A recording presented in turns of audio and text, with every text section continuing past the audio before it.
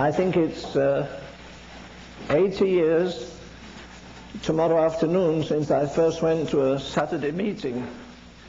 I was four years of age, so guess how old I am. and uh, I remember 60 years ago spending an afternoon with the most distinguished woman preacher in the world. Her name was uh, Catherine Booth. She was the daughter of the founder of the Salvation Army, William Booth. But just a few uh, weeks ago, I spent some time, my precious Martha, with a woman that I think is the most anointed woman in the world today. She hasn't, she doesn't a penny. She hasn't got two dresses. Nobody on her staff owns a car. She lives in a room 15 feet by 15. Her bathroom is 4 feet by 4 with a toilet there she has a, a little tap, a, a, drip of water as big as your finger. She catches water in it and warms it, puts some soap on her head and throws the water over her head and that's the shower she has. The Queen the other day, when she was in, uh, where was she, in Miami, she didn't drop in to see us, but anyhow, she helped Mr. what, what do you call him, Schwarzkopf? Schwarzkopf? Can't say it she gave him a knighthood. Well, she doesn't give that to ladies. She gives them an MBE, a member of the British Empire, and she gave that MBE to Jackie Pullinger, who I think is the most anointed woman in the world today. I mean, to listen to her. We started our meeting with 2,500 people. In three days, we had 9,000 people there in the Civic Center in Anaheim and uh, she just reduced the whole place to tears and brokenness. There was no thunder and shouting and roaring and voting and all that business. But one thing amongst others that, really stuck in my heart was this. Uh, she said there's only one place in the world where today they're having revival. Do you know where it is? It's in America. God's left America long ago. We million dollar crusades and nothing happens. We've had million dollar crusades for 25 years. You can't tell me one city that's had revival through them. We have 500 evangelists in America. We don't have one revivalist. Evangelists seek popularity. Prophets shun it. The thing was this. Well, she said, uh, they're having revival in China. Okay. And this is a country, remember, that Mr. Bush is trying to get us to link up with. And she says our young people, look at these young ladies here tonight, they go down the street, they go to a gospel meeting and disappear and they haven't been seen since. The communists keep gathering up truck, uh, van loads of young people and take them away. They disappear. No politician is going to say that. I'd tell Mr. Bush if I got half a chance. But we want some cheap cotton or something from over there. We've nothing to take over there. In fact, some of the people over there say, don't bring us American evangelism. One man said recently, young Americans come over here, they're showy, they bring their guitars, they sing for three days, and back they go to America and live in luxury. But Jackie, you stayed with us. And she said, I'm looking at the walls. She said, uh, a man came out of prison recently. He'd been there 27 years for preaching the gospel. And when he came out, his, his face was the color of the wall. He had been in solitary confinement for years. And uh, people sent news ahead he's coming back to his village. He didn't have a Bible under his arm. He didn't have a little cassette. He just walked down the village street and the whole village came and repented. They knelt in the street and cried to God. There's a Christian. There's a man who for 26 years had been in prison. He's been beaten, he's been without food, he's been without, he's been in solitary confinement, and yet the glory of God is on him. You see, we want to get the glory of God by coming to a meeting. She almost scorns those of us who go from meeting to meeting to meeting. I tell you, when I listened to that woman, I felt like, well, I had to follow her preaching, as a matter of fact. And I've never felt as, uh, well, I always feel unworthy preaching anyhow, but to follow that amazing woman. I'll tell you how it happened. She was English, as you would imagine. And uh, she said to a vicar in the Church of England, I'm tired of giving a dollar for missions. I'm tired of stand up, sit down, say a prayer, do something. What shall I do? And off the cuff he said, get on a boat and wherever it stops, get off and stay the rest of your life. She did that. 19 years of age, playing a classical oboe in the, what do you call it, the um, Philharmonic there. And uh, little thinking that what that uh, oboe was going to mean anyhow uh, let me say this. she got on the boat. It stopped here, it stopped there, stopped at Singapore, stopped somewhere else. Then it stopped in Hong Kong and she got off the boat. She was 19 years of age. She's still there at 44. She goes to the guttermost. Martha said to her in our house, uh, Jackie, what's the most difficult thing you've had? She smiles so sweetly and she said, Martha, I'm a very public person. I love people, I love people, but I love quietness. My biggest difficulty when I went to Hong Kong was to share my bedroom for 18 years with prostitutes. Sometimes 12, 12 of them on the floor, sometimes half a dozen men, sometimes criminals, the most wicked men that there are. But she so lived there that people say, if you want to see a Christian, go see Jackie. I say, when I was talking to her, I was thinking when I, I sat with the uh, daughter of William Booth, uh, she was about 20 years of age. She wasn't very athletic. She had the curvature of the spine that she inherited from her mother. And William Booth, of course, used to kick everybody to the ends of the earth, but he said to his children, don't you go. So Catherine, the second Catherine, said, I'm going to France. She went to the underworld of France and rented a building there and within three weeks had revival. Professors from the Sorbonne were there, these long-bearded wise men of the world. Prostitutes were there.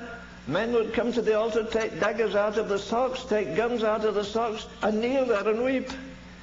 And here these titled ladies of England left their stately homes. You see, there's one thing that's more attractive than anything, and on God's name I tell you this, you never have to advertise a fire, whether it's in a man whether it's in a church, whether it's in a community. All we need is men and women on the fire. We don't need more money. We don't need more organization. We don't need broken, bankrupt actors to come and sit on the platform of our conferences. Forget it. Let's go back to God. Well, there's my introduction. Shall I preach now? I could talk all night about Jackie, but I won't. Let me give you a text and uh, do something with it from the second letter of Peter.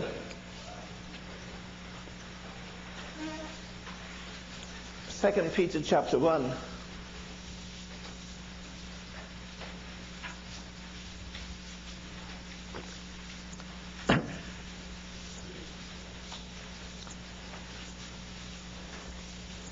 Have you got it now? I'm reading from the uh, NIV, the never improved version, King James. King James, the never improved version, there it is, NIV. Oh, you just woke up, thank you. At least you're asleep, you're not asleep. Second letter of Peter, chapter 1, and verse 20. And knowing this first, that prophecy of the scripture is of no private interpretation. For prophecy came not in the old time by the will of men, but holy men of God spake as they were moved by the Holy Ghost. You get that?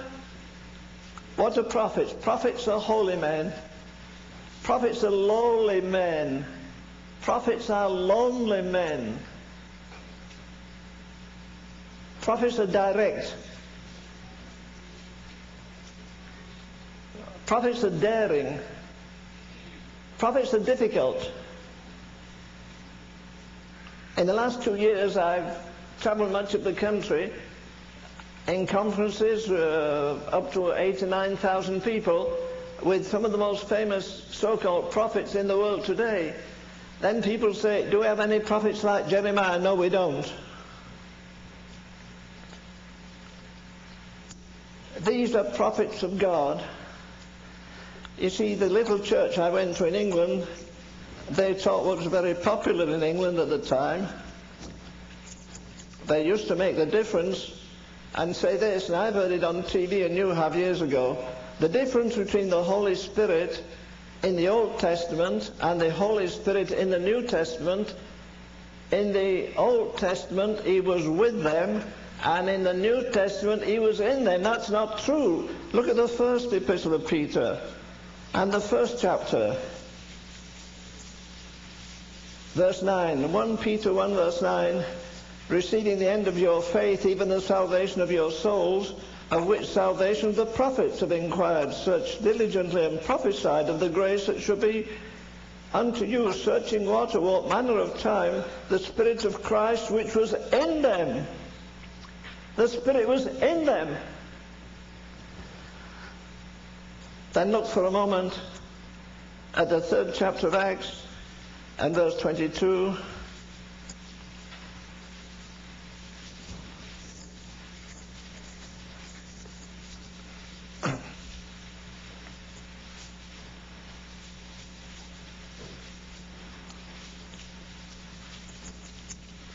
Is that verse? I think it is.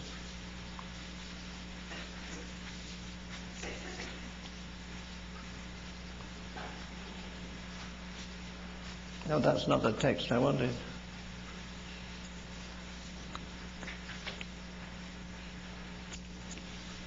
Which minutes?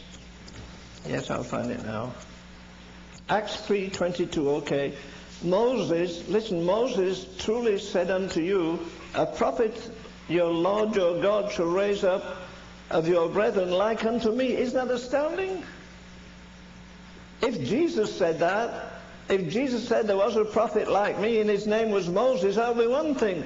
But God says there's a man called Moses and there'll be somebody raised up eventually who is like Moses. What was Moses? He was an intercessor.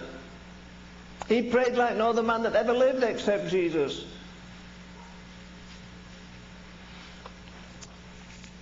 But let's go back again to that verse in 2 Peter 1.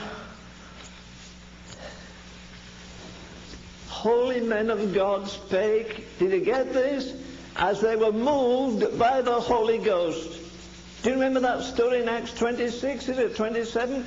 Where Paul was on a ship and there were 270 people on it and the ship got in trouble and they threw out the baggage they threw out the lifeboats. They threw out everything they have. It's a type of the church that's in darkness and going into further darkness. We're going to throw everybody overboard.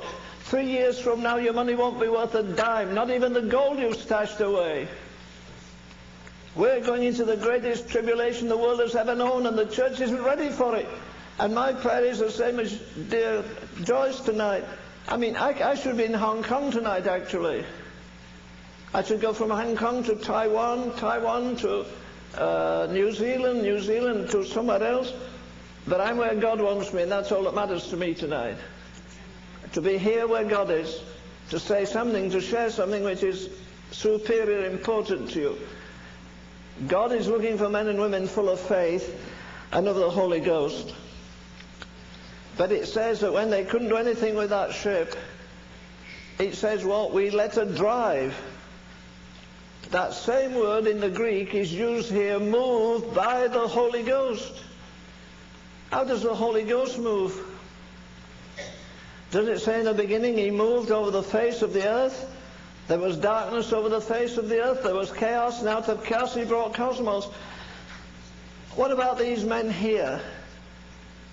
What did he do with men like uh, Zechariah? What did he do with men like Elijah? What did he do with men like um, Isaiah. These were awesome men. You see, we have such a petty idea of the Holy Ghost. We don't know God. I'm going to speak either tomorrow night or Sunday morning, I don't know which, on a message God gave me. You see, I was taught as a little boy in England, and I got a lot of wisdom there. Uh, man proposes, but God disposes. Now, last year I was ready to go to London to preach in the London Arena, 11,000 people a night. A friend of mine rented it for 168,000 for four days. We're going to have three meetings a day. And I anticipated going because people were coming from Australia, New Zealand, India. Uh, all the evangelical preachers of Europe were going to be there. And then suddenly I didn't feel well enough to go. So I said, well, I'm not going. But then I wanted to know, why did God not let me go? Because I don't go to a meeting and preach. I'm not on hire. I'm not a taxi cab. So I come here this weekend. It took me three men- months to prepare. If you give me a $100,000, you won't pay me. It took me six months to prepare to go for six days, and then the Lord said no, so that's okay. So I waited on God, and He gave me this word. Holy men of God spake as they were moved by the Holy Ghost. The other thing He gave me, which I'll share tomorrow night or Sunday morning, as it was in the days of Noah. Do you know this is the most this is the most critical crisis America or the world has ever been in? What's it say in the Bible? In the last days there'll be, what's the scripture you say, Martha? Uh, without, um, Martha, remember in a minute. Uh, what, what, with, with, uh, with no exits, without, oh, perplexity. What's the scripture though?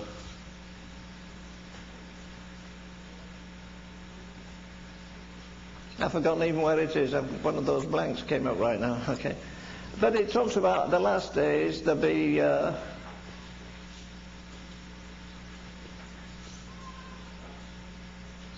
troubles in the world anyhow without without with perplexities in, in other words there's no way out there's no way out why in god's name are we bowing the knee to gorbachev he's the bloodiest man in the world he supervised the rape of uh, Afghanistan for 10 years.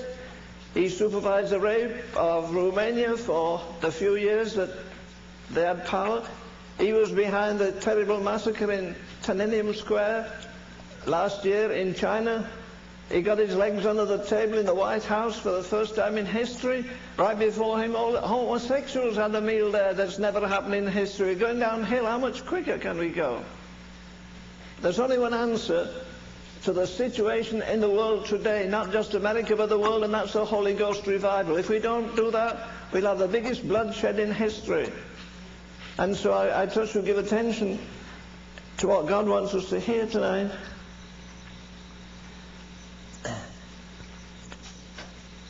Holy men of God spake as they were moved by the Holy Ghost. Uh, well, as I say, I, di- I didn't go to that meeting, but I was on a plane with Martha in January of this year going to the conference in New York, and I, uh, no, yeah, no, not the conference in New York, uh, conference in California, and uh, I just looked out of the plane. I saw what looked like sheets and sheets, or acres, or miles and miles of snow, and I, I nudged Martha. I said, "Darling, look at this snow." And then the captain said, look to the right window and you'll see the white sands of New Mexico. And I thought, boy, they look beautiful. And just like that, this text came into my mind, moved by the Holy Ghost. And then a most stupendous thing.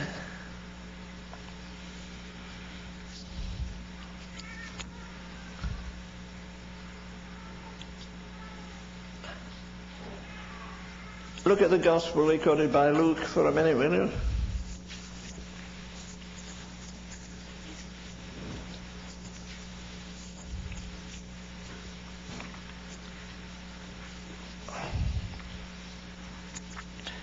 What would happen to you? Come on, friend, let me ask you a question. Supposing as you were getting ready this morning, packing your bag or putting gas in your car, an angel came and stood at the side of you and began to communicate, would you, would you ask for its visa? Would you say, are you really an angel? We're not used to seeing angels. Well, here it says in the first chapter of the Gospel recorded by St. Luke. Now look at verse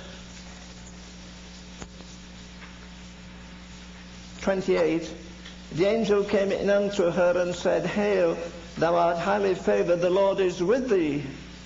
Isn't that something? An angel comes from heaven to tell a young woman, the Lord is with thee, but wait a minute. Look at verse 35. The Holy Ghost will come upon thee.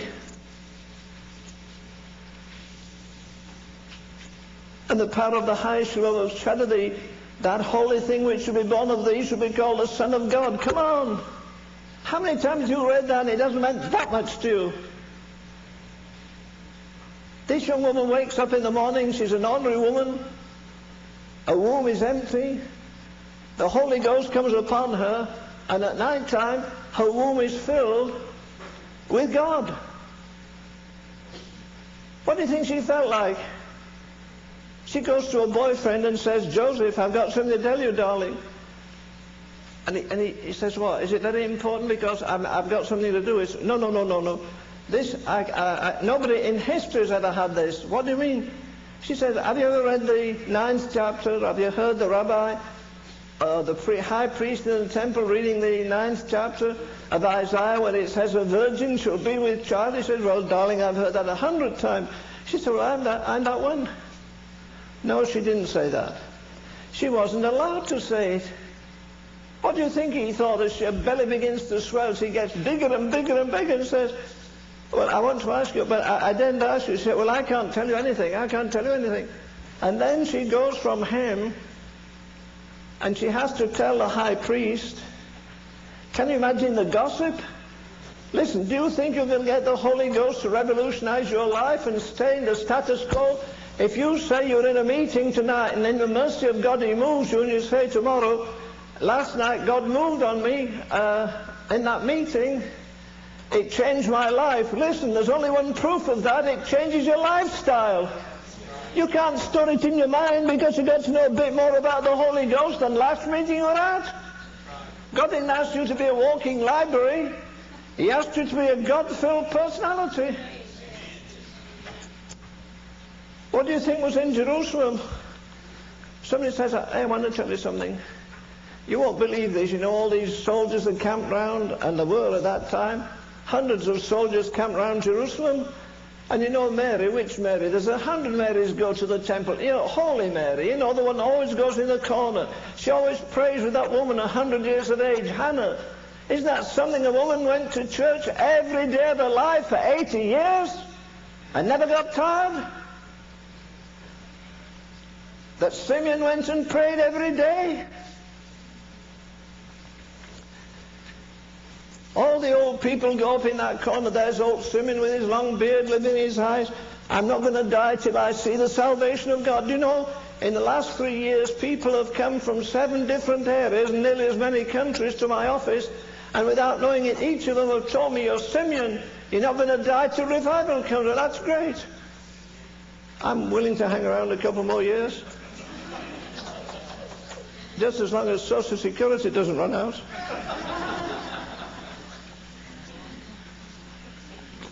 No, I don't have a newsletter. If I want it, it's okay.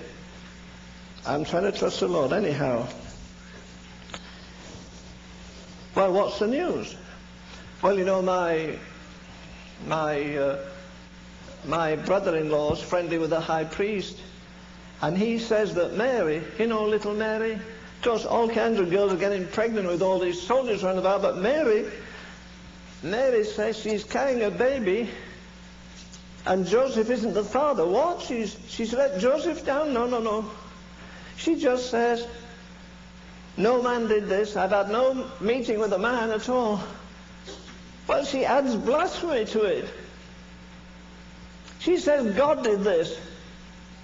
You get filled with the Holy Ghost, you lose a lot of your friends, and then you have to say God did this. That's not one way to get rid of your husband, by the way. But we don't think of that, do we? The Holy Ghost should come up. Do you think she knew that the Holy Ghost had come upon her?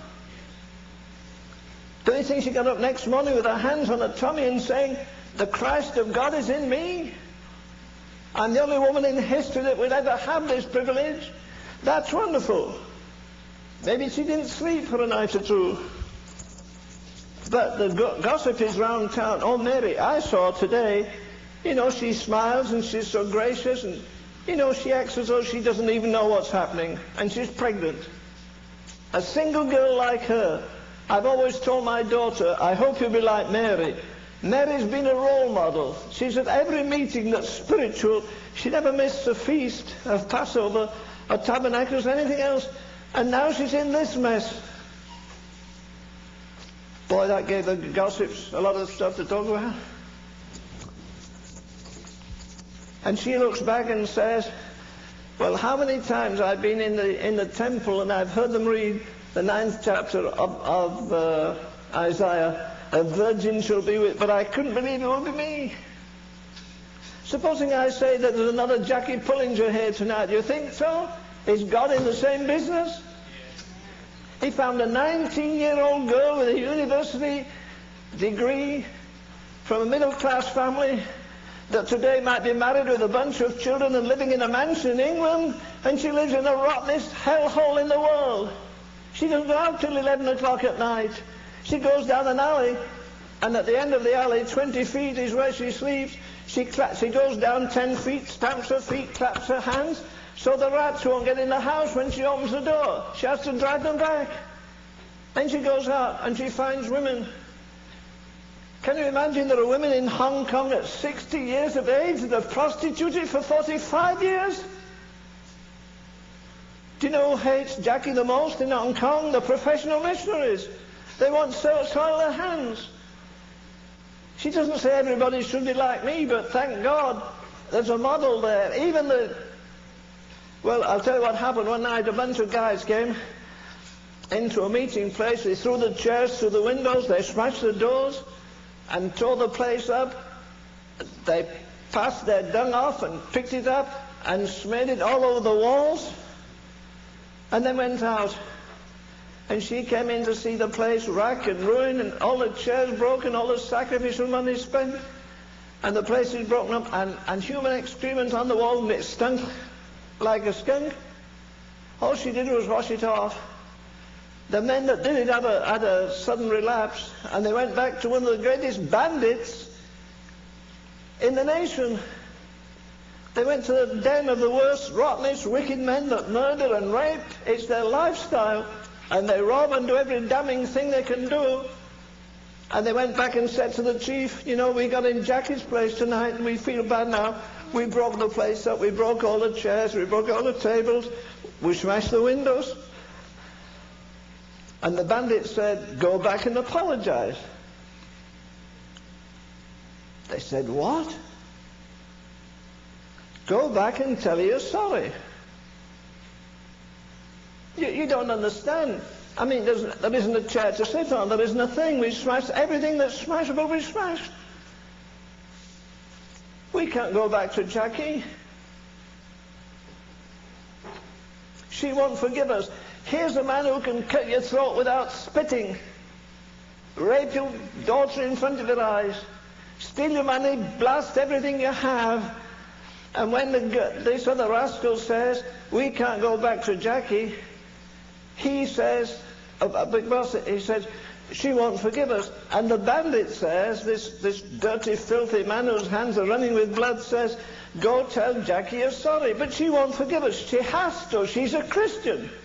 Isn't that something and a bandit knows that and we don't know it? Dear God, we get offended because the pastor went twice to one house in the same street and missed us. How easily we offended are. Yes, yes, yes. It's very nice when she says that little thing inside of me is the Redeemer of the world. He's prophet, priest, and king. He's the only one the Holy Ghost ever conceived in history, and he's the only one that will be conceived that way. Okay, that's very nice. But what would you do when you come to this second chapter in Luke? Listen to this. Verse 34 says, Simeon blessed them and said, Mary, his mother, behold, this child is set for the rising again of many in Israel, and for a sign which shall be spoken against. A sword shall pierce through thine own soul. Do you hear that? This woman who had heard over uh, time and time again, she heard the high priest quoting the ninth chapter of Isaiah, but she'd also heard the high priest quote Isaiah 53. What does it say in Isaiah 53? None of you remember? Thank you. He was wounded for our transgression. He was bruised for our iniquities. She's bearing the man that's going to bear the sin of the world. She's going to see him on the cross naked. She's going to see a man that walks up and down penniless like precious Jackie does.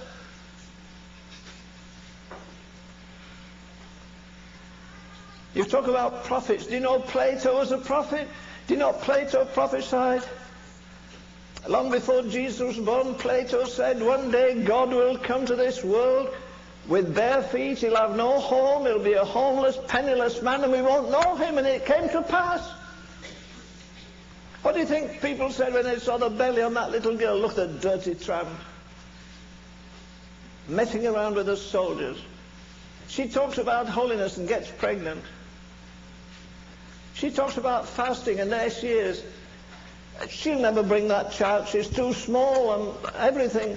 They said every damnable thing about her. What did she care? Listen, if you get filled with the Holy Ghost, you won't care a, a snap of the things about the opinion of people. Whether they like you or hate you, what difference does it make? In that big conference one day, 9,000 people, I said, let's sing a chorus. Maybe some of you know it. Jesus loves me, this I know. Do you know they went into ecstasy about it? They hadn't sung that since 50 years ago. The greatest thing you'll ever learn this side of eternity is Jesus loves me. The Apostle Paul said he loved me and gave himself for me. I don't care if he died for the world. I don't care if he died for the church. He loved me. A bloody man going down the road, my hands running with blood. And he transformed him and made him the greatest man of his day. Maybe the greatest man that ever lived after Jesus Christ. So Mary has it. Would you like God to give you an unveiling of your life from here to the end? Do you know what will happen in another 25 years in America? People will be crucified in the streets for following the Lamb. If you won't join the Roman Catholic Church, they'll burn you to death or something like they've always done, like they're still doing in South America. That battle is coming up. It's either be totally Christ or be committed to Christ, else get tied up with a harlot church. Filled, Mary was filled physically too. But what's the next thing the Holy Spirit does? He comes on a bunch of men, and uh, they were gathered together, were in the upper room, and they were filled with the Holy Ghost, it said in Acts 2.4. But you know, why do we get stuck there? I, I made a quick note of this just yesterday. Oh, we're filled with the Holy Ghost, Acts 2.4. But it says in the sixth chapter, do you remember what it says about Stephen? He was a man full of what? No, before that. Full of faith. Lots of people are full of the Holy Ghost, but not full of faith and of the Holy Ghost. It says in Philippians 1, we're filled with the fruits of righteousness. Paul prays for the Colossians, they may be filled with the knowledge of his will. How many of you are stumbling around? You don't know which way to go. You young people, I don't know whether God wants me on the mission field, wants me here, wants me there. Find out God's will and do it. Get on a boat and go to Hong Kong or King Kong as far as that goes. As long as you know you're in the will of God, all hell won't stand against you. And then it says in 2 Corinthians 7 4 that they were filled with comfort.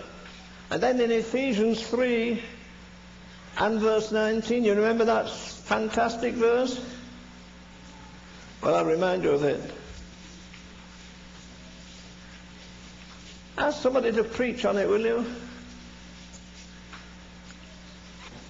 It's the most stupendous thing I know of this side of eternity. It says, you, you, you, you mortal beings, you can be filled with all the fullness of God.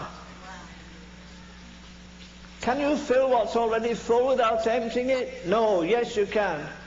Okay, I put all the lights out in this room. Or let's say a, a, couple of hours ago, maybe there wasn't anybody in it, and people start coming in. The room was empty, you fill it with people. The room was full of air, otherwise they couldn't breathe. Then we put on a switch, we fill it with light. It's full of people, it's full of air, it's full of light. We can turn up the switch and we can fill it with heat. It's full of people, it's full of light, it's full of warmth. And I take a spray and I can fill it with perfume. It's filled and filled and filled. Well, that Greek word there, be filled with the Spirit, is actually be being filled with the Spirit. It's not something that happens once, it's continually there. Jesus says, if you abide in me, you don't get your prayers answered simply because you use God as you go shopping. Do you abide in him every day? Does he tell you to go to, to a certain place and meditate and he shows you your whole career crucified? You made up your mind to be a lawyer and God says you can't be a lawyer. You make up your mind to get married and God says you can't do that.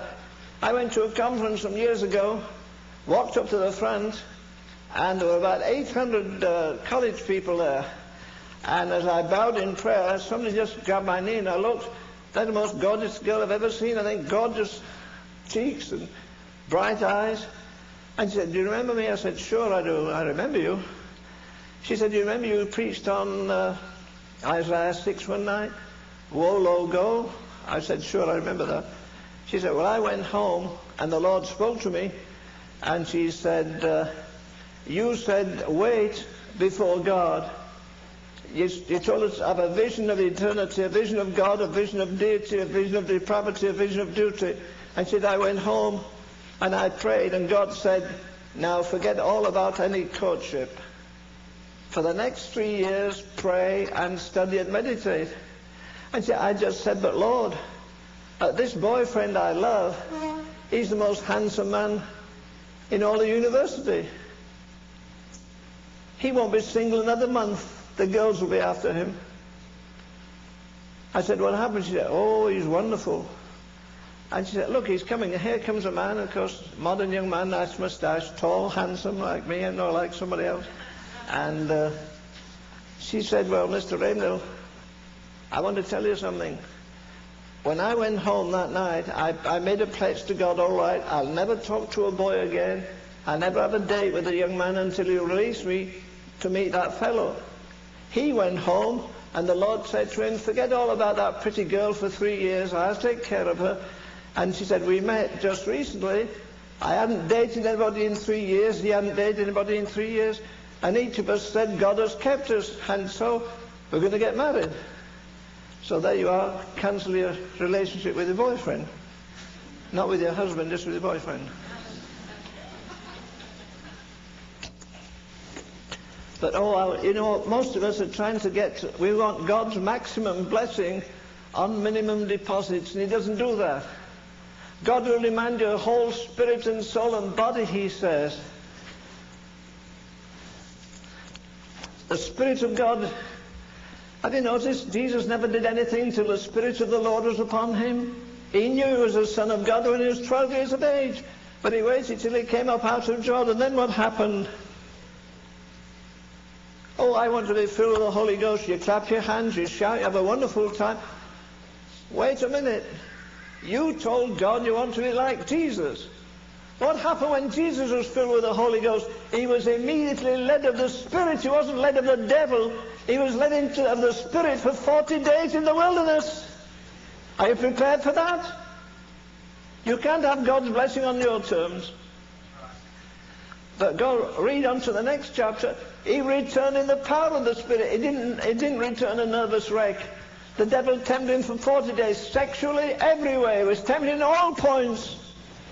And the devil never took advantage of him. Why? Because he was a God-filled man. How filled was he? Look at Isaiah chapter 11 a minute. Isaiah chapter 11.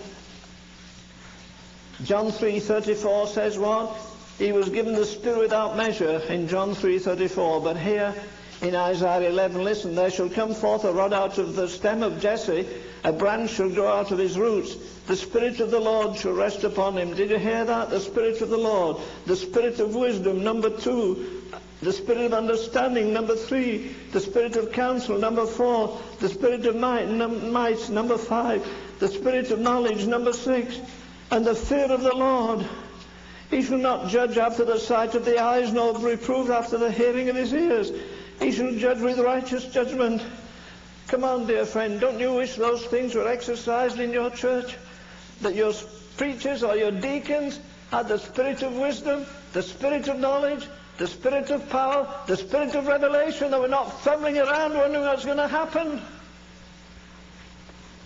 But you don't get that by just going to a meeting for one night. Remember, he came out of the ivory palaces into a world of woe. Can you imagine the heaven of heavens cannot contain God, and yet God compresses him into the matrix of a woman? What do you think he felt like in that black chamber of that woman's womb? Read the six of Isaiah. Cherubim and seraphim falling down before him, we sang tonight.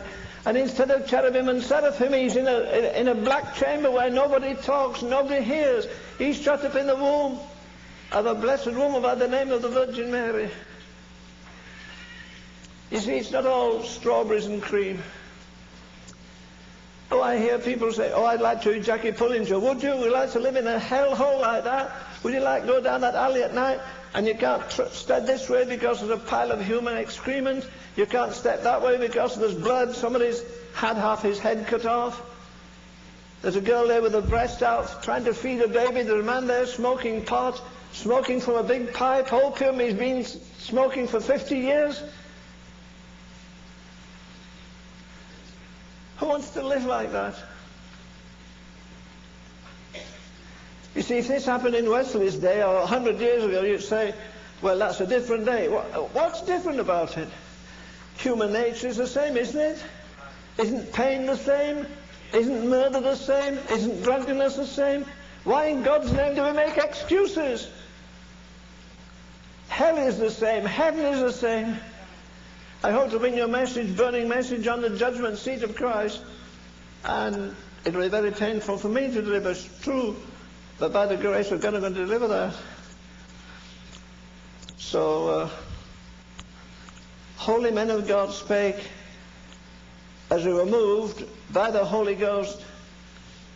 But there's never any, you can be moved emotionally.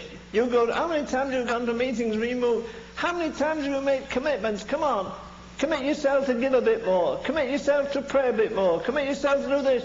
You can commit yourself a hundred times. How many times does a man get crucified? That's one commitment. Preachers love to say, oh, we had a lovely Sunday morning. People have been coming to the... It doesn't mean a thing to come to the front anymore. I was raised in a holiness church where at least twice you went to the altar, and that's only twice when you got saved and the second time to be sanctified or crucified if you like. It's not coming every weekend. What, what good does it do?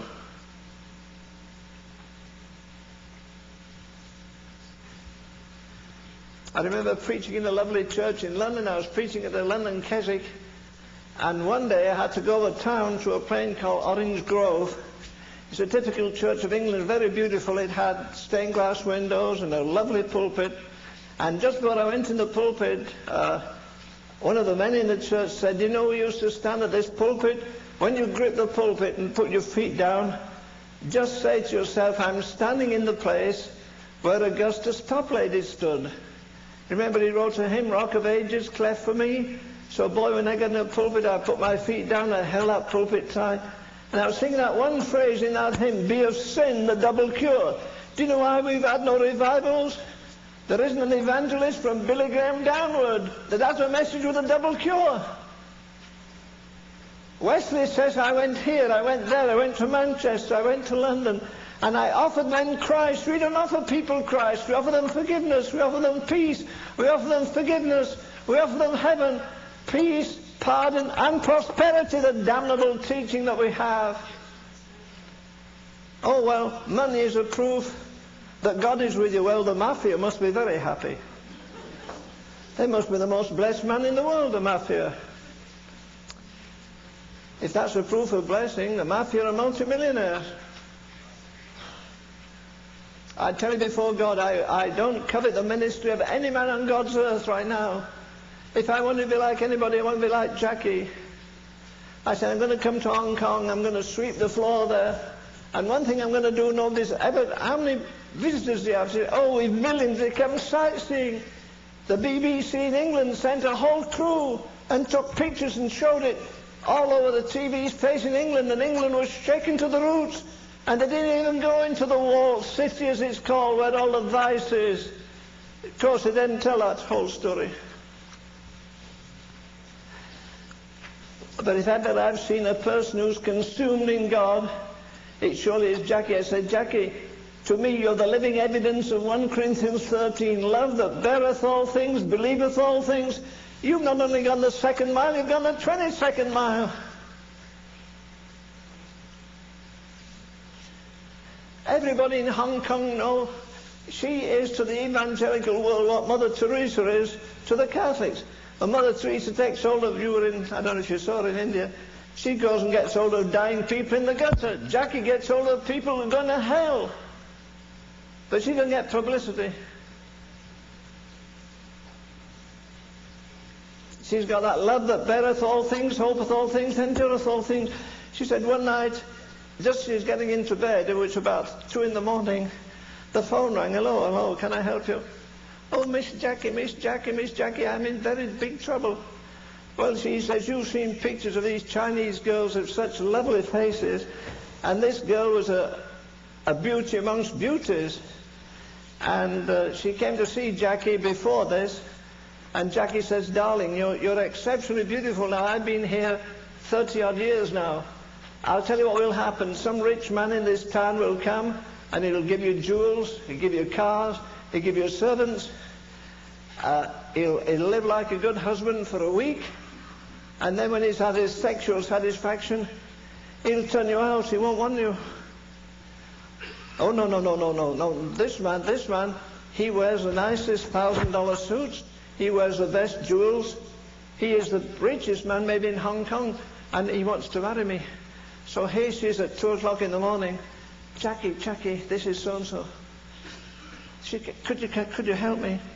She said, why? She said, my husband beat me up. I'm all bloody, my lips are swollen, I can't speak. And she said, he says, if I don't take him $1,500 by tomorrow night, he'll kill me, and I know he will. He's done that thing before. So, Jackie, there's nobody in Hong Kong I know has $1,500 and she said, darling, I don't have 15. But Miss Jackie, I mean, all the world knows about you. Well, I'm sorry, I don't have $15. Well, what can do? Jackie said, I'll tell you what. What's the deadline? It's tomorrow night at 6 or whatever it was. She said, all right, don't worry. My God answers prayer. I don't have $15, but I'll get you 1500 by tomorrow night. So she went to pray and she said, Lord, what do I do? This girl will be killed. And the Lord said, she'll be killed tomorrow night between 6 and 7 unless you give her $1,500. What can I do? Well, you brought an oboe from England. She still plays in the uh, Hong Kong Philharmonic to have access to them. Take your oboe, it's an antique. It's worth a lot of money. She goes in town, there's a man, he buys instruments. And he she says, uh, he says, Jackie, what have you got? She said, I need money. And all I have is this oboe. Oh, he says, that, that, that, that's an antique. And that, that's worth a lot of money, but, uh, well, I, I, I can't really give you what you should have, Miss Jackie, but I will give you $1,500 for it. She said, well, thank you. And she took it to the girl, and the girl, of course, said, well, nobody does anything like that. They just give you tracts and say, Jesus loves you. And they leave you. Another day, she went to see a lady, had about six children, and hardly any clothes, they drags.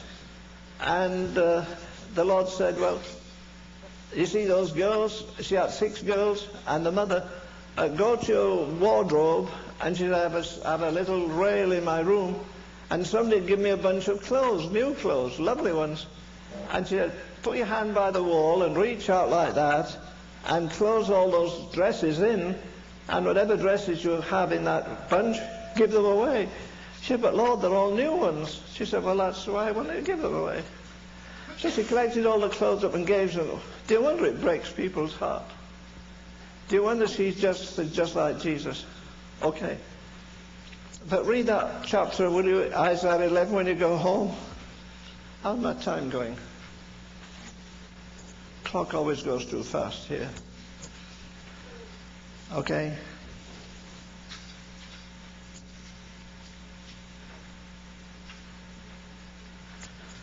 Holy men moved as they were moved by the Holy Ghost, spake as they were moved. There's if I didn't feel I had an anointing before I came here, and I don't wait till I get to here, I've been praying for weeks and weeks and weeks, and God's my witness of it. I go to bed at 9 at night. I went to bed at 10 o'clock Thursday night. Had a good sleep, and I thought, well, I've had a wonderful night's sleep. Went in the front room. I went to bed at 10. I was refreshed, got up, and it was 11. So I go to bed at 9, get up at 12 or 1 or 2, wait on God, and ask for anointing for meetings like this. Whether you think I'm the best preacher in the world or the worst, I couldn't care a hill of beans. All I have to do is deliver my soul. Men moved as they were moved by the Holy Ghost. Listen, let me tell you, one of two things will happen if you get filled with the Holy Ghost. Either your prayer life will be revolutionized or something else will.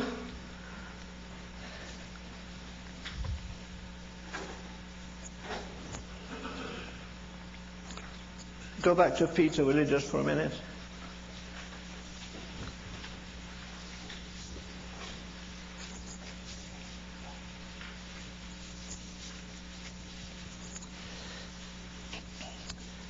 Would you like to be a preacher? Do you want to know the secret of preaching? Here it is in 1 Peter, the first chapter,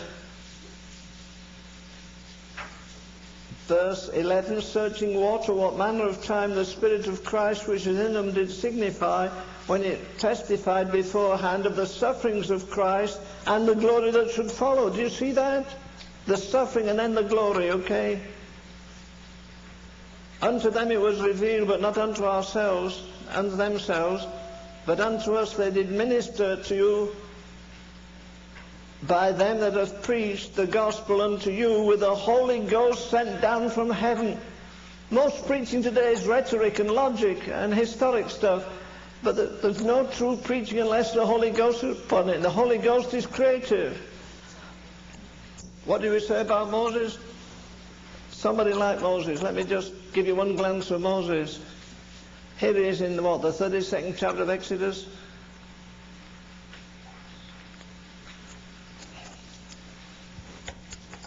Listen, if you're going to get through with the Spirit and walk with God, you're going to get an awful lot of disappointments.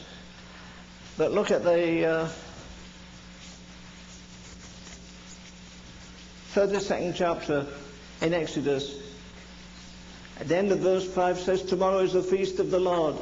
They rose up early on the morrow and offered burnt offerings and brought peace offerings. The people sat down to eat and drink and rose up to play. And the Lord said unto Moses, Go down for the people which thou hast brought out of Egypt have corrupted themselves. Can you imagine that? Moses is on the mountain having a revelation of God in fire, and the high priest is dancing round a golden calf with half naked people, and he's the anointed of God. And verse 9 says, The Lord said unto Moses, I have seen this people, they are a stiff-necked people, now therefore let me alone. Did you ever, ever hear anybody preach that? How many charismatic meetings have you been to? How many conferences? Did you ever hear a man stand up and say, God said, this is the Almighty God. He can do anything. He can create a world by spitting it off the end of his tongue if he likes. He can make a Moses out of a stone. And God says, let me alone. This is not God reaching down and take hold of Moses. It's Moses, Moses reaching up and taking hold of God. I'd love to pray like that. Until says, God, let me alone. Don't intercede for America anymore. Why do you weep when other people laugh? Why do you fast when other people feed? Why do you live as, as near as you can on the poverty level, have a nice home? Have a garage, it's turned into an office now. But as, as far as, do you remember young, young people used to go to Christ, what, what do they call Youth for Christ meetings? How many of you used to go to Youth for Christ meetings? Let me see. Oh, you're afraid to show your age. Okay. Do you remember a song that starts, worldly, uh, worldly some things don't enter. I would be like Jesus, be like Jesus is my song in the home and in the throng, be like Jesus all day long. I would be like Jesus. Worldly fetters shan't enthrall me. But why did he watch TV so much? The biggest curse in America or the world is TV. Preaching with the Holy Ghost set down from heaven. Let me give you two quick pictures. Martin Luther, we know, came out of Rome and its bondage and its all its cult and its uh, indulgences. And one day God came to him, but listen, do you know he fought for 15 years to find assurance? 15 years.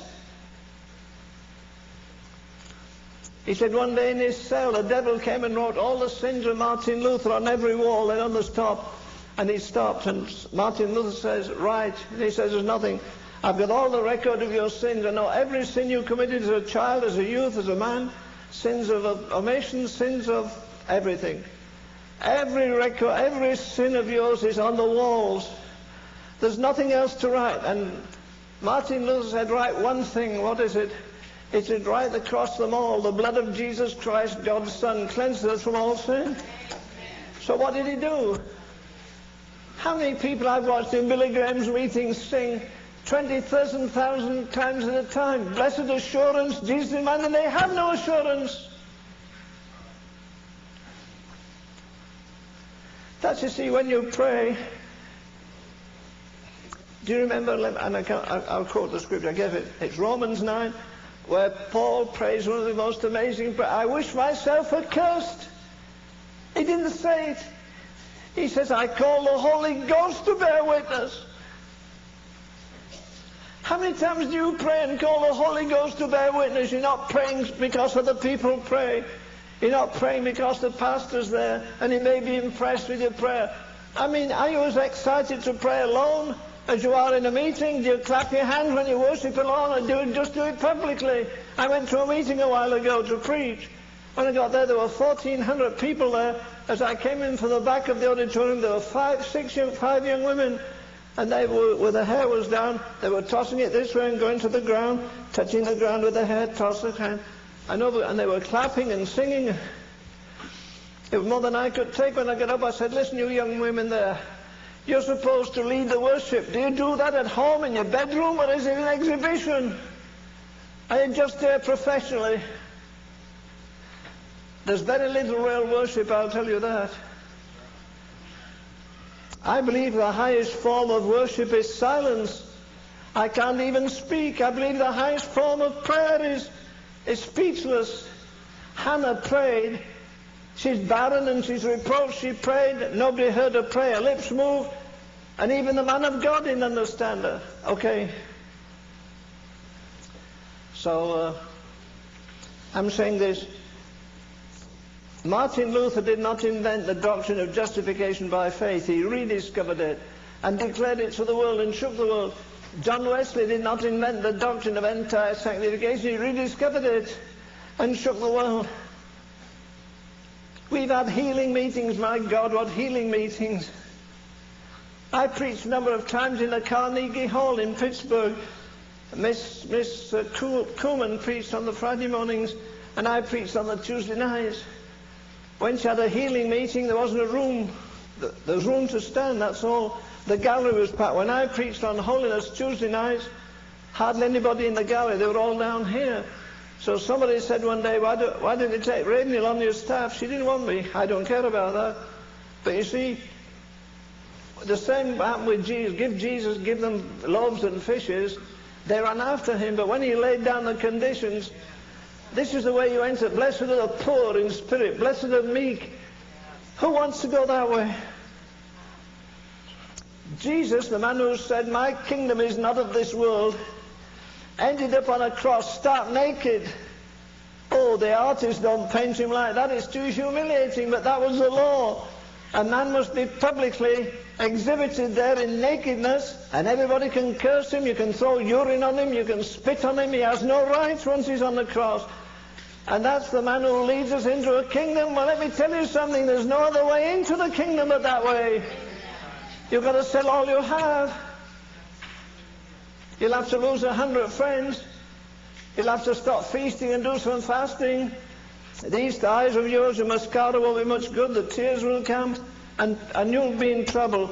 The, the biggest danger you have is becoming more spiritual than your pastor. Isn't that usually the trouble? Oh boy, you can't be more spiritual in the past. Okay. Let Moses in the spirit groan. Let, I'm paraphrasing it now from the old Methodist hymn book. Let Moses in the spirit groan. Down there, people are worshipping the golden calf. They're dancing naked. The high priest is backslidden. The whole nation's gone whoring after strange gods. And only Moses has a revelation of God. He's been on the mountain and he lays hold of God for this people. And God says, Moses, let me alone. Listen to what God says. I'll read it quickly to you. And Moses besought God, verse 11, and the Lord said, and, and Moses besought the Lord his God and said, Lord, why doth thy wrath, thy wrath wax hot against thy people? Now look at verse 22. And Aaron said, Let not the anger of my Lord wax hot. What do you mean? Because Moses had been in the presence of God and God was angry.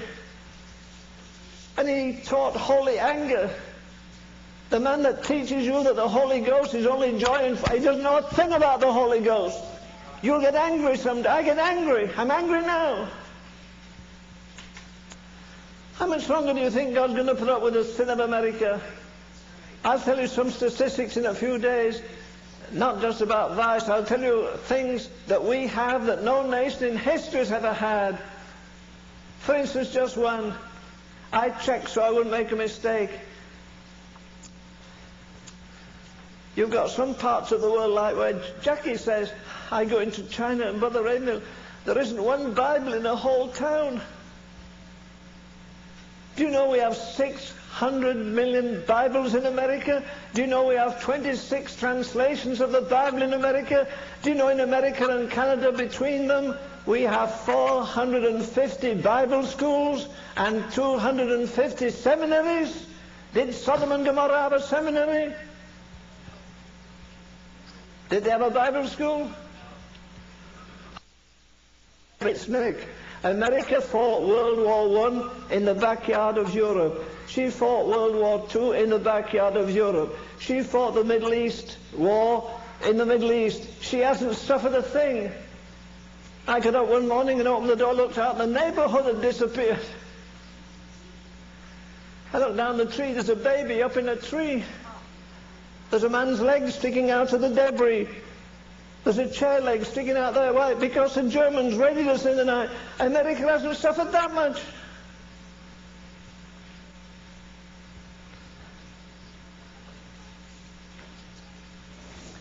I'm trying to warn you that we're heading for trouble. I want to, let me tell you this, dear friend, with all the churches and everything we have, God, G-O-D, is N-O-T, not on trial in this critical hour in history. God is not on trial, His church is on trial. And she doesn't have an answer to the problem. We're like Mother Hubbard, our cupboards are bare. Where is the supernatural? Do you think Jack isn't filled with God when a woman comes running down the street and kneels in front of her and the woman's all pockmarked. She's prostituted 40 years, and she says tremblingly, Jackie, Miss Jackie, Miss Jackie, please take the devil out of me. I'm full of the devil, and you're full of God. Will you please? And every day of her life almost, she casts out demons. She doesn't even claim to be a Pentecostal. She does claim to be a Christian. I've got the greatest Pentecostal preacher in the world coming to see me in three days. I'm going to ask him a question. Uh, one of the greatest uh, Pentecostal theologians came to see me. I have a stack of his books. And I said, I said, I'm just reading the, uh, the history of Azusa Street by Bartleman. And it says on, after the fly page, the first page, it says on the second page, there are 70, listen, 70 million spirit-filled Pentecostals in the world today. And I said to him, listen, tell me this. Is this record true? Are there 70 million spirit-filled Pentecostals?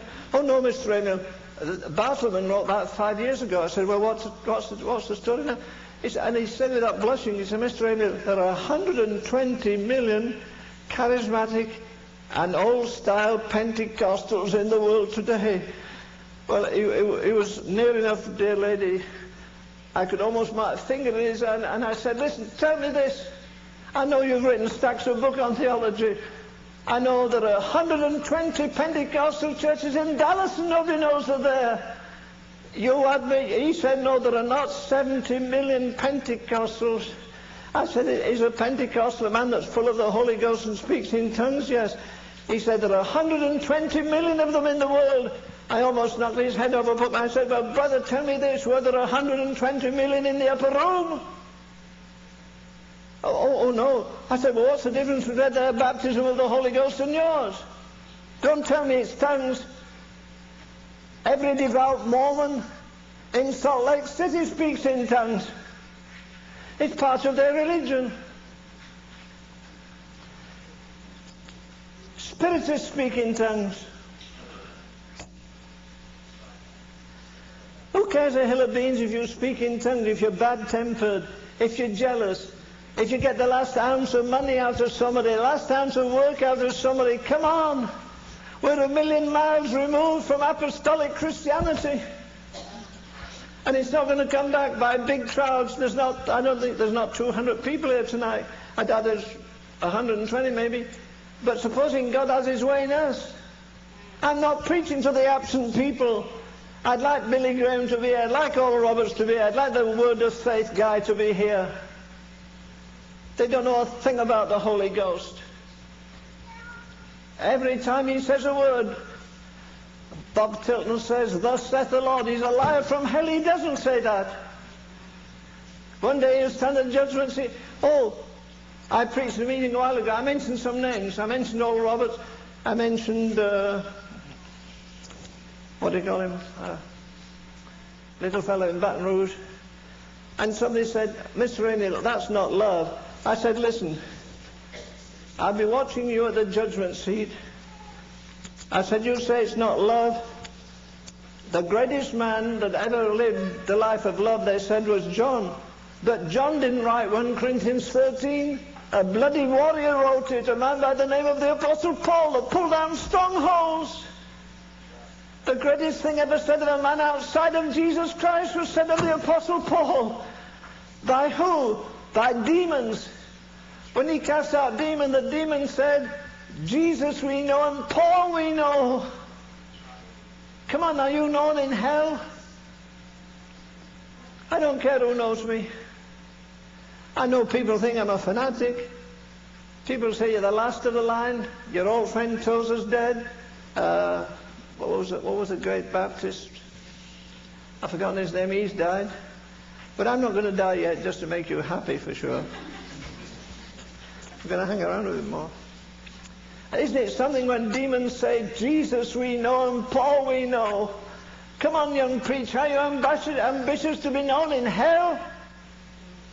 What's there going to be known anywhere else? You preach better than Billy Graham, you preach better than so-and-so. So what?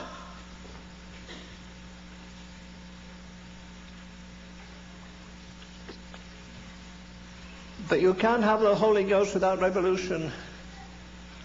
He's going to fill you as he filled Mary.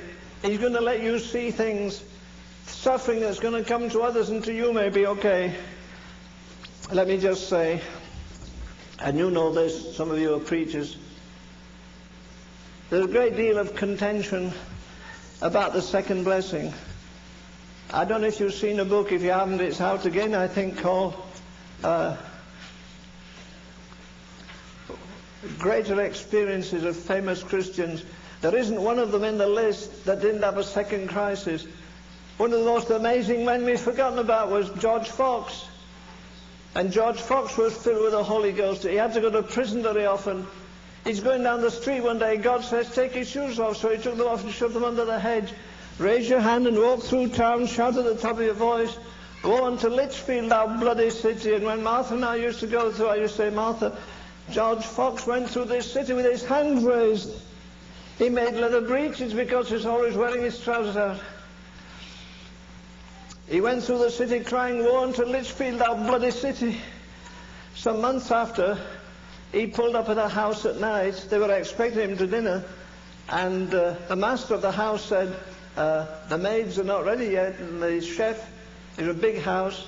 He said, would you, would you please sit in my library and read a little? So George Fox went in, he took down one of those big tomes, they were all leather bound, you know, big things, and he took the book down and opened it, and as he opened it, he saw in big letters Old English Lichfield. And he thought, well, that's where I walked through the city, barefoot, crying, Woe to Lichfield, how bloody city. But why did God let me open here? So he opened at Lichfield, and he read what it said there. 200 years before George Fox walked through that town, 200 Christians were martyred. They were put to death in the very marketplace where he went. And God says to him, Their blood crieth from the ground through you. What an experience. And we get blessed if you just sing a song and they sang my face. So what? If you go out of this meeting as you came in, I'll be disappointed and God will. Okay. Let me prove to you forever as far as I'm concerned.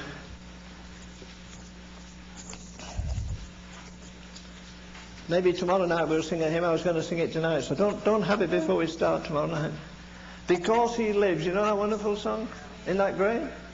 Let's sing it. Because he lives, I can face tomorrow. Because he lives, all fear, all fear is gone. I know.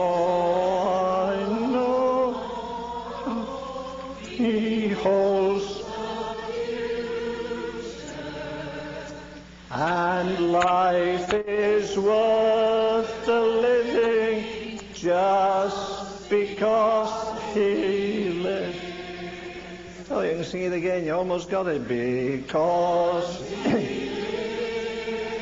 sing it. I confess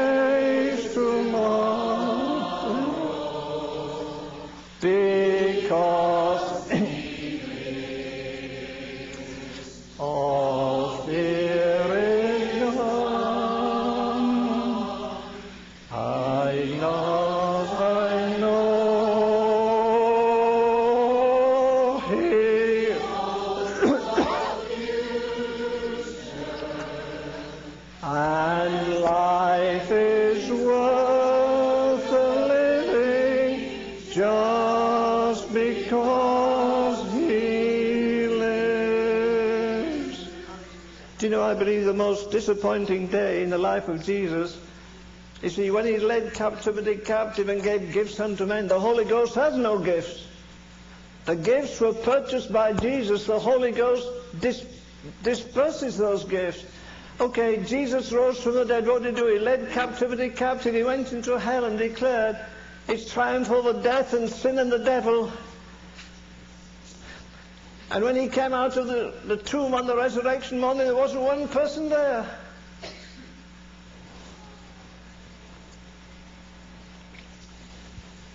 How many of you like opera? Do you remember Verdi's Aida? You don't remember it? Oh, well, when Verdi uh, celebrated his Aida, the first time he played it was in the, uh, uh, what they call the theatre in Milan. Anyhow, it's one of the biggest theatres in the world.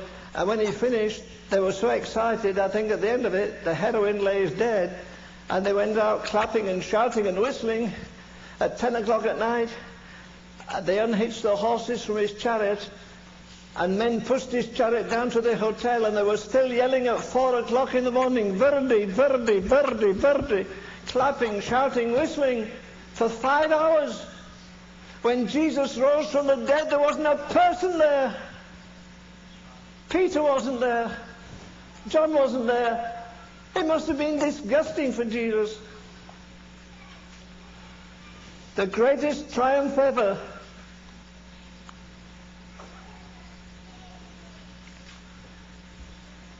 Because he lives at the right hand of the Father tonight. Every Sunday we preach sermons uh, we're preaching 80% of the, 90% of the sermons we preach are about a man who lived 2,000 years ago. Of the other 10%, 80%, 8% are about somebody who may come today or tomorrow. Only it matters not where he was 2,000 years ago, where he will be, where is he now? Do you realize he's been trained for 2,000 years and he isn't tired? But how much longer is he going to do it? Let me take you through this very quickly now. Can I do that, please? Tie this thing up. Look at the end of the gospel recorded by Luke.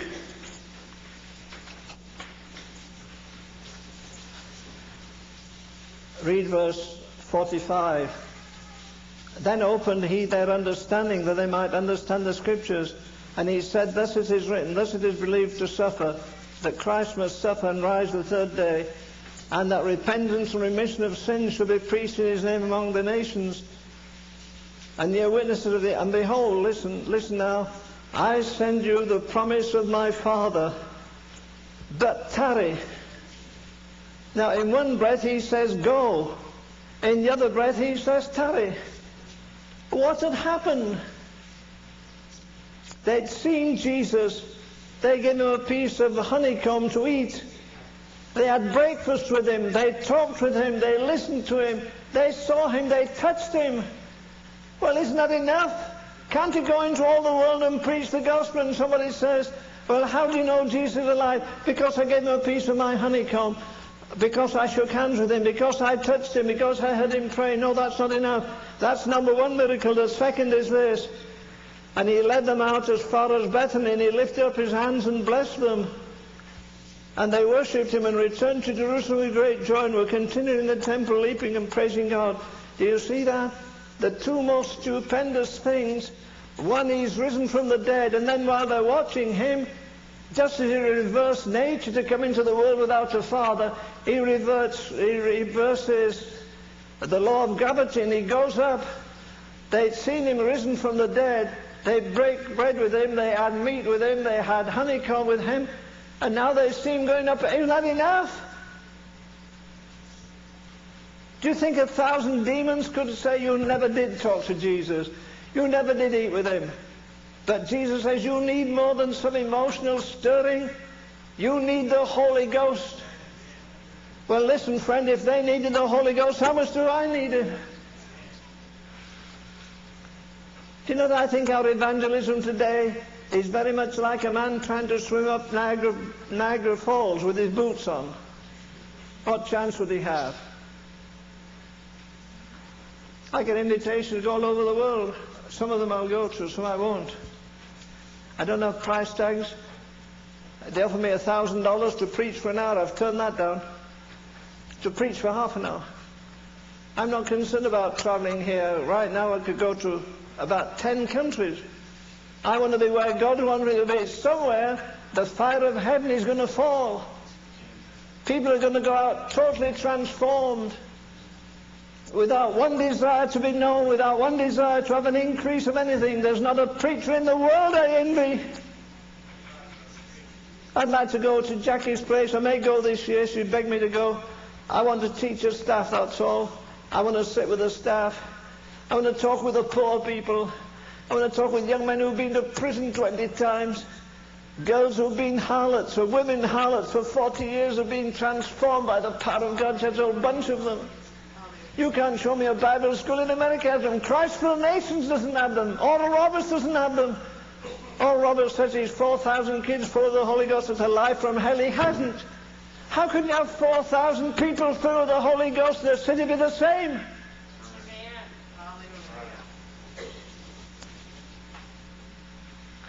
Only 120 filled with the Holy Ghost.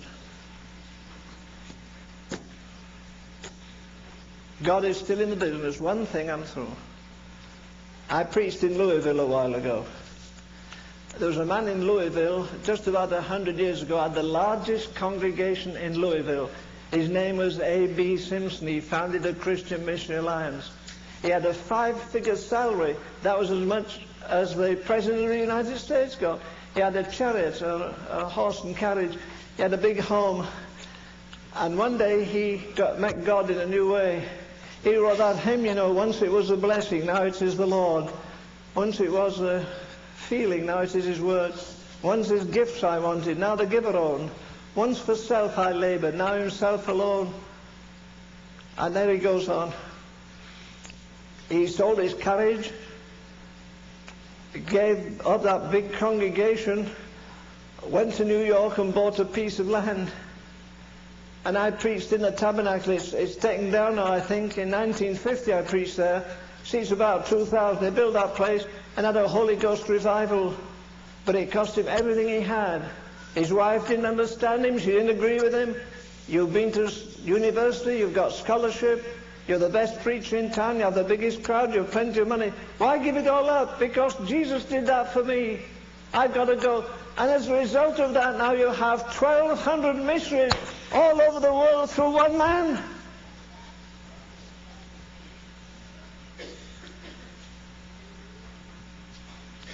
Moved by the Holy Ghost. The woman is moved on by the Holy Ghost. She gives birth to the most remarkable babe that ever lived. There's a bunch of men nervous in the upper room. No, they were not. What does it say? They went in the upper room. They were filled with joy. They went. They said, He's risen and He's ascended to heaven and He's going to send us the Father's gift, the Holy Ghost. And they waited. What do you think they did each day? They said, Well, we've been waiting 40 days. We've only 10 more to go. They knew how many days they had to wait. And it came down to the last day. How do you think they got up that morning? And then suddenly the Holy Ghost. But when the Holy Ghost came on Mary, she gave birth. When the Holy Ghost came on them, they gave birth. They went out. They turned the world upside down. They didn't have any financial backers. They didn't ask for offerings. When you've God, what did John Wesley, Charles Wesley said, Thou, O Christ, art all I want. The only time you can say Christ is all I need is in when Christ is all you have. How can you say Christ is all I need? You've $50,000 in the bank. When you know people are suffering.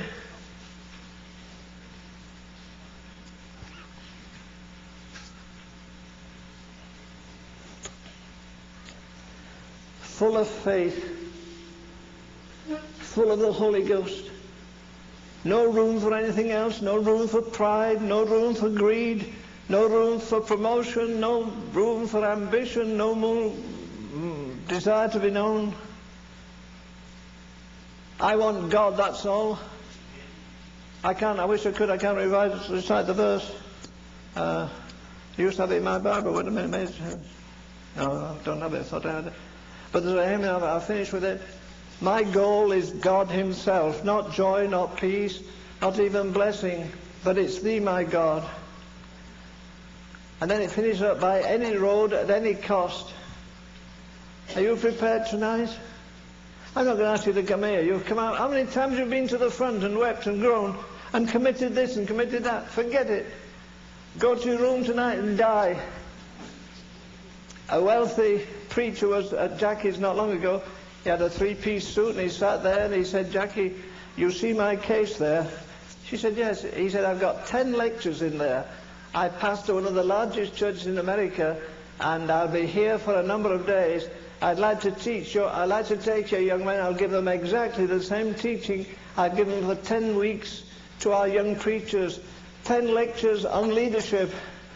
And she said, you see that? He said, of course, that's the door. She said, well, get through it. We don't want men to come and teach us leadership. We want you to teach us to die. She said, don't you realize China's going to come down? What, in seven years? Hong Kong goes to China? It'll be a bloodbath. And the young men there know that. That's why I want to go and share with them while I have enough energy. They know they're going to be martyred. She said one of the choruses of the young China girls, they hardly have clothes or rags, and they sit there clapping and saying, Oh Lord, let's be martyrs for Jesus. Let's die for Jesus, not to live and get married, not win the tennis championship or something. Let's die for Jesus. She said we'll have the most remarkable group of young people, not coming out of Bible college in America or England, but these young people have already counted the cost and say, I'm ready to die physically. That there may be an outpouring of the Spirit there can't be an outpouring any other way. I know some of the young prophets, you know them, Rick Joyner and others, they're building a house now for the prophets. They may do that, but you can't build a house for God. He dwelleth not in temples made with hands. I preached the other week there, and across the road from me was preaching who? Bob Schuller in his $17 million crystal palace. Do you think people take notice of that? He's put a bell tower up now, $5 million. Who takes notice of it? The devil isn't afraid of it. The devil is afraid of men full of the Holy Ghost. Men who have no vision but a vision for God and vision for holiness and a passion for the lost.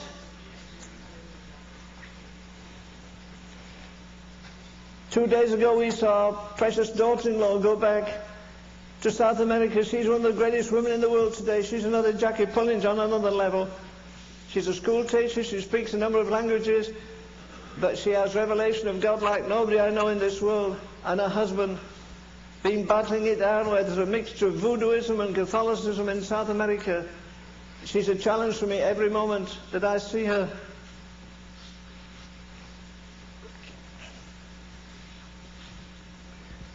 Thou, O Christ, art all I want, more than all in thee I find, says Wesley.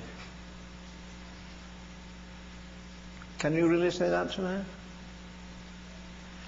I'm not going to, I'm not going to sing a hymn and stir you emotionally. I'm asking you to go home or go to your hotel and get alone and think over this message. Read again and say, Lord, I want to be moved by the Holy Ghost. Listen, if He's going to come in, other things have to go out. Every area of you which is unclean he will purge. Every obstruction he'll take away and he'll come. And from today you will have divine wisdom and divine understanding, divine strength.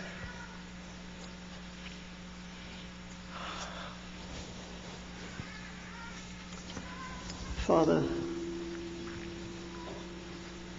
as we sit in the comfort of this lovely place, we go to our homes or hotels, we do remember these precious people in China. Pray tonight you'll bless Jackie. Give her a new inspiration this weekend. We pray for these young people who have already agreed that they're willing to die for Christ's sake. These young people who walk for an hour or two hours at six in the morning to pray and then walk home two hours and they have no breakfast. They've nowhere to have a nice warm shower. They have to stand in the middle of a village and get a bucket of water for the rest of the day.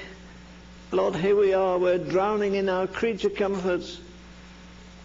Oh God, give us an appetite greater than our appetite for food, our appetite for fellowship. Keep your hand upon us. Bless these precious folk.